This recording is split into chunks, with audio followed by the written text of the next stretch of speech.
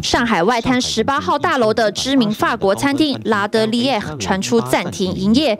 他曾靠名厨坐镇，搭上人均一千五百八十元人民币的高价，站在上海餐饮金字塔尖。还是当地饕客的法餐启蒙餐厅，如今突然关门大吉，有民众就抱怨五千元人民币的餐券还没来得及用。另外有路媒报道，该餐厅疑似拖欠员工薪水和供应商的货款，而它仅是上海高级餐厅倒闭潮中的其中一个案例。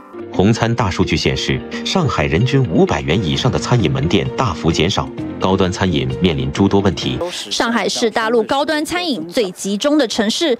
二零二三年五月，人均消费在两千元新台币以上的餐厅约两千七百家，然而到今年七月，已减少了一千四百多家。同样状况也发生在北京，曾是艺人赵又廷与高圆圆举行婚宴的米其林餐厅 Opera 也在六月歇业，而背后原因是大陆经济下行，消费力疲弱。今年一至七月，社会消费品零售总额增速持续下滑。六月，上海、北京、广州、深圳四大一线城市的消费数据断崖式下跌，其中上海跌最惨，来到负百分之九点四。高端餐饮只好想办法自救。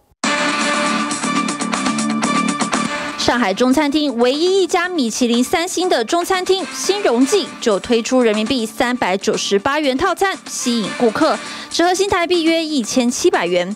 尽管价格仍旧偏高，但被大陆网友调侃是穷鬼套餐。TVBS 新闻叶俊宏、蔡以杰综合报道。